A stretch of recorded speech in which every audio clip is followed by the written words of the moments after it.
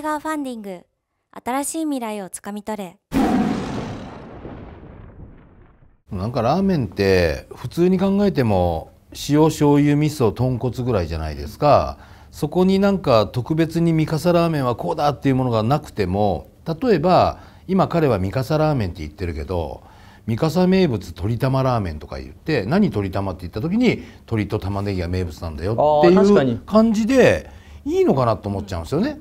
そんなに特殊なラーメンってないし、特殊すぎて売れないっていうこともありえるので今日皆さんと僕で食べたものが美味しいならそれもありかなと思ってるんですよね。見せ方がキャッチーだったらそれも一つの手ですよね。はい。鶏玉いいんじゃないですか？今ふっと思った鶏玉ラーメンって鶏玉っていうとなんだろうって、うん、え鶏の卵？とか。そのクエスチョンの方が面白いじゃないですか、うん、確かにネーミングありますね、はい、まあ確かにそうですね。うん上品。喋り方もラーメンも。あのこの作るってのもああなるほどねみたいな。意識高いわって思うだ からこだわりがラーメンに詰まってるのもよくわかるもんね。岩井さんの鶏玉ラーメンの方がグッとくるね。いや僕も今聞いててあっと思います。いいな最初なんだっけ？最初本当に作るの鶏白湯ラーメンで行ってて。でもうあの作るっていう名前でえっと、鶏白湯ラーメン。鶏白湯がもう東京溢れちゃってんすよ。でズームの時に「ダメだよそれじゃあ」って言ってもう三笠ラーメンなら三笠ラーメンで勝負した方がいいよっていうアドバイスしたんですよ、うん、あなるほどなるほど、はい。まあ、そうそうかもしれないです。地名でも勝負しちゃうっていうのがいいかもしれないですね。鶏白湯ラーメンもあの札幌に行けばあるんですけど、うん、札幌から出て三笠に来るまでにうちともう1店舗しかないのであのライバルもものすごい少ない。観光客が鶏白湯をまず目指さないから歌舞伎町ホスト界のウォルト・ディズニーニュージェネレーショングループオーナー桑田流星年商14億。緻密な人材育成と YouTube 戦略を駆使しホスト2.0時代を牽引。アジアの不夜城の頂点へと駆け上がるネオン街のイノベーターは何を思う？札幌行ったら味噌か塩だなーなのよ。本当に今の状況はね。これをだから度外視するんだったら三笠ラーメンっていうブランドを作っていかなきゃいけないよねっていう話でね。あれこのハンバーガーも販売してるんですかこれ。ハンバーガーそうですね。えっとテイクアウトとイベント用で、えっと、今の鶏のチャーシューを醤油だれにつけてであとガリが入ったマヨネーズが入った、うん、そう。照り焼きバーガーみたいなイメージで照り焼きとは違って鶏のチャーシューが入ってるっていうバーガーはあるんですけど、あの地元のパン屋さんと今交渉しててもうちょっとパンを改良したいなっていうふうに考えている段階ですね。一応今走り始めであのイベントで出してお客様の反応を伺っているところではあるんですけど。面白いですね。でもねラーメンとバーガーを一緒に食べる人はいないからね。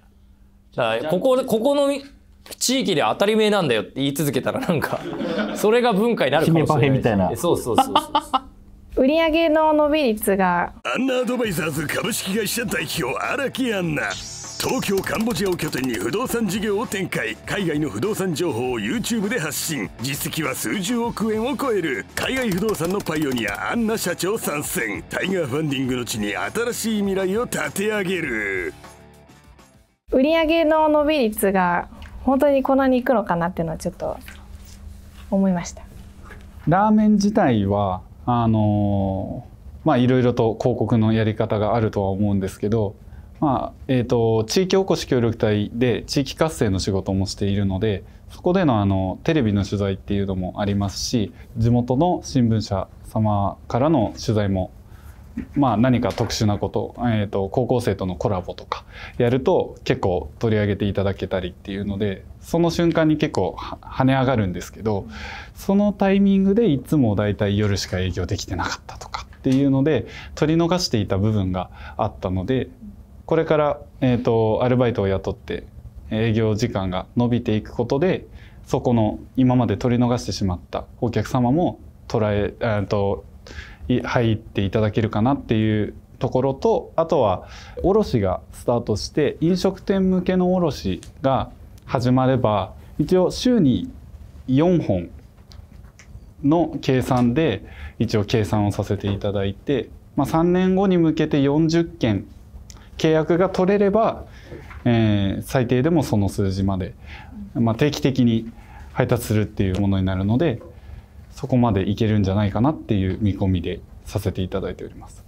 逆にふるさと納税とかはもう同じ数今年の入った数で一定の数のみで計算しているので増えていけばその分上がっていくかなっていう感じです。人件費が結構増えていくんだなっていう印象があってそれはまあそういった新しい展開をするためにどんどん増やしていくっていうそんな感じですか？と店舗に私の人件費をかけていないっていう部分があります。地域おこし協力隊のえ給与がありますので私の人件費基本的にはかかってない状態でさせていただいてます。一応ここから1年約1年半まではアルバイトを雇ったとしても、まあ、月に15万ぐらいで、えー雇わせていただいてであの1年半が経った時点から30万か40万かっていう感じで推移してると思うんですけど任期が終了してからは私の人件費もそこに乗っかってしまうのでちょっと人件費のえー金額が上がってるっていうことになります。はい。確かに1年半超えたら急にマイナスになってますもんね。これ飲食店ってやっぱりなんかストーリーが欲しいと思っていて今までこの経歴だともうこの三笠高校を出て、えっと洋食系とか鉄板焼きのレストランに行っていてその後居酒屋行ってなんでラーメンになったかとかその経験を生かしたからこそフレンチの経験を生かしたこそのラーメンみたいななんかストーリーがあるとさらにいいのかなと思うんですけどそういうなんかストーリーはありますか？やっていることとしてになってしまうんですけどもあの出張料理の依頼も未だに結構入っておりまして、えーそのコースの一環で鶏白湯スープを提供させていただいてます。で居酒屋で働いていた時から、えー鶏白湯は自家製で仕込んでいたものになっていてそれをさらにブラッシュアップしたものが今回の鶏白湯スープになっているのでこの鶏白湯のスープが基準で全てのものが作られていってるっていうものになっているのでなので、えー、とコースを頼まれて、えー、とた食べた方もこの鶏白湯スープ実は普段はラーメンなんですよって言ったら、えっと、普段来られない方もそちらから来ていただけたりっていうので結構そこから、えー、ときっかけに来ていただけてるっていうのはあります。味はもちろんのことそれ以上に記憶に残る要素を取り入れたい男が提案するラーメンにさらなる可能性を求める虎の面々。しかし未だ答えは出ないまま刻々と時間は過ぎる。果たしてオール・オア・ナッシングの行方は？プラン自体はすごくシンプルなんで、はい、まああのこれでいいのかなと思いますけども。じゃあ田中さん最後になりますけどもお願いします。ラストステートメントです。はい、えっと今回の志願で三笠市の未来で人口は減っていく予測が立っていますけどもその中でもやっぱり三笠市に来たいと思っていただけるようなものを生み出したいと思って今回志願させていただきました。よろしくお願いいたします。はいありがとうございます。じゃあちょっと壁側を向いていただけますか。では皆さんえっとファイナルジャッジメントタイムです。田中さんの希望金額200万円ですので10万円単位でお書きいただいても構いません。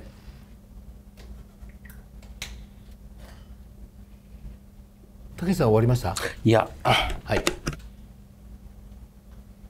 はいじゃあお直りください。はいではこれより最終決断に入ってまいります。竹内社長お願いします。はい、えー、僕は、ナッシングです。ラーメンはめちゃくちゃうまかったです。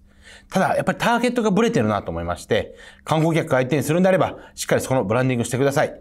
えっと、岩井さんとの面談でも、なんかいろいろアドバイスもらったのに、なんかそれが生きてないっていうのも聞きましたんで、ただ、ラーメンは美味しかったんで、北海道行った時は、ぜひ食べに行きたいと思います。はい桑田社長はい。50万円。はいはい。ありがとうございますこれは僕は、味は僕は好きでした。あと、ちょっとその、地域おこしっていうのが楽しそうだっていうのと、北海道大好きっていうのと、はい。あとは田中さんがすごい真面目そうな方なんで、最終的になんとか持っていきましょう、成功にっていう。ありがとうございます以上です。はいではアンナ社長はいナッシングでえっと、味は本当にすごく美味しかったんですが最後の人口が減るっていうところで結構私それ大問題だと思っていてやっぱ地元の人もあの支えていただくっていうのもあのないとですねなかなか厳しいんじゃないかなっていうふうに思いましたあと、えっと、この売上の計画が本当にこの通りにいくのかな結構あのぐっと伸びてるのでそこがちょっと心配になったというところがございます。はい、はいトマピはい。ナッシングです。すいません。えー今回のプランとか、なんか証券の小ささというか、どこら辺が理由かわかんないですけど、全体的にワクワクしなくて、自分がラーメンすごい好きっていうのもあって、今回はお金出そうとは思いませんでした。でも、美味しかったんで、地元を思う気持ちも伝わったんで、頑張ってください。ありがとうございます。はい、えー田中さんの希望金額200万円で現在桑田社長から50万円だけ出ていますはい最後回ってきました平井社長はい。50万円です。ありがとうございます。はい。はい、50万円です。これ多分多いですあ、多い。え？あ、ごめん。ごめんごめん。これはい、50万円です。はい。えー、正直、やっぱり何か引きつけてあの観光客を呼ぶまでは物足りないなって感じはしたんですけども、まあ、ただ味は美味しかったのと、あとネーミングの問題と、多分、えっ、と、また違う新商品を開発したりして、あと、家賃が2万円ってところを考えると、そんなに、えっ、と、大外れはしないような形にはなるのかなと思ったんですが、やっぱりもうちょっと証券が小さいとそこら辺が、あの、もうちょっとなんか、あの、オリジナリティがあるたら、全部行きたかったなというふうに思っております。ありがとうごはいありがとうざいます。ございましたあもう桑田さんが手が動いてますよ はいというわけで、はいいいですか？これ僕初です。お願いしますはい、条件条件付きで、はいえっと、今の店舗がある状態でも営業はできてるわけですよね。で、まあ、この目標数値がどれぐらい達成するかわからないんですけど、この夏ちょっと見たいなと思ってます。うんはい。なんで、7月、8月の売り上げを達成できたら、ちゃんと僕が融資するっていうのはどうですか？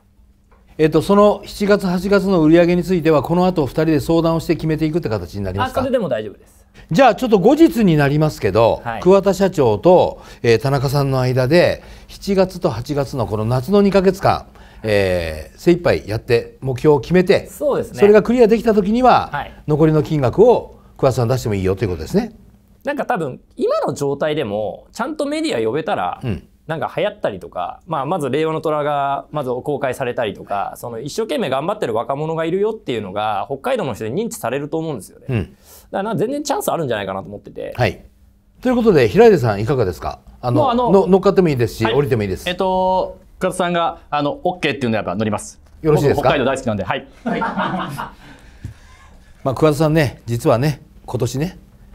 すすきのにね、はい。出すんですよお店を。そうなん決まってて、はい。なんであの、まあ、身近に応援できるかなって いうのがあって、はい。はい。で車で1時間っていうのもまあ行きやすいかなみたいなのがはいあって、はい。はい。単純にその応援できるんじゃないかなっていう部分で、はい。こういうのもね運なんですよ。運ですね。運ですよ。本当に。今日僕その話聞いてあで別にこの話してないですもんね。はい。だねとりあえずよかったね。はい。はい、ありがとうございます。はい、では条件付きではありますけれども一旦あの条件付きオールということで拍手だけお願いします。はい。お金の受け渡しは今日はやめましょう。あはい。さあえっ、と最後になります。田中さん感想どうぞ。はい。ちょっと,、えー、と自分でも物足りない部分であったりさらにこれから、えーまあ、ネーミングの話だったりいろいろと改善していくべきことはたくさんあると思いますが、えー全部、えー改善してより良いものを作ってたくさんの方に来ていただけるようなラーメン屋を作りたいと思います。よろしくお願いします。はいありがとうございました。ナッシングと思われたその瞬間桑田が動かしたお助けだるまをきっかけに物語は条件付きオールで終幕。北海道を拠点に動き始める三笠ラーメンプロジェクト。地元をぶち上げる新しいラーメンを武器に若き志願者が勝負を仕掛ける。その挑戦は続報を待て。はい、えー長時間のご視聴ありがとうございました。えー投資を決めていただいた桑田社長と平出社長にお越しいただきました。えーっとですね、えーっと、これ別日に撮ってるんですけれども、今日までにいろいろ決まりましたよね。はいちょっと順番に教えてもらっていいですか？えっと、あ、えっと、まず、はいえー条件付きオールだったんで、はいえっと、期間と金額が決まりまして、はいえっと、放送直後の6月8日から、はい。えー6月22日までの2週間で、はい売上40万円達成したら、えーオール決定ということにしました。はい。はい。わかりました。これでもう条件は、えーあそこではまだちょっとね、えそうですーうやむやだったんだけど、決定ということですね。はいはい。結構ね、3人で、ズームで話し合ってですはいね、もともとは、えっ、と、役、役所的な、えー協力隊に入って給料もらってるって話だったんですが、それだと昼し、昼が営業できなくて、夜しか営業できないってことなので、はい二人で、それだとなかなかビジネスとして厳しいんじゃないって話をしたら、もう彼も思い切って、そっちをやめて、えーラーメン屋に専念すると。はいいうことだったんで、はいで、その代わりに我々も辞めるということであれば、はいあの、ゆで麺機を、はいえっ、と、とりあえず先に先出しで出資すると。はい。まあ、そうですね。15そこ万円ぐらい。まで決まった。はい。だから、いそれで、えっ、と、ちゃんと麺を、えー効率よく茹でられる状態にして、頑張って売り上げ上げようねっていうことですね。はいなるほどですね。はい。あの、着々となんか進んだようです。えっ、と、ズームでいろいろミーティングをしていただいたので、えーこの大前提をもって、えっ、と、まあは、ね、2週間で結果出ますから、えー、2週間経ってしばらくして、最後の審判が、ね、配信できると思いますんで。なのでね、ぜひ行ってあげてくだじゃあ、さい。ぜひとも、ね。三笠市の、ね、遠い遠いもう。岩井社長行ってあげないんですか？遠いもう。これね、桑田さんがね、札幌でね、いろいろ仕事あるみたいで、ね。あ僕行きますはいはい、行きますよね。一緒に合わせていきましょう。ちょうどね、期間的には14、15、16北海道なんで、あその期間に、そうなんですねはい、行ってきます。はい。はい。わかりました。ということで皆さん、北海道の皆さん特にね、はい三笠市に行っていただいて、ぜひともその三笠ラーメンを食べていただきたいと思います。はいよろしくお願いします。どうも今日はありがとうございました。ありがとうございます。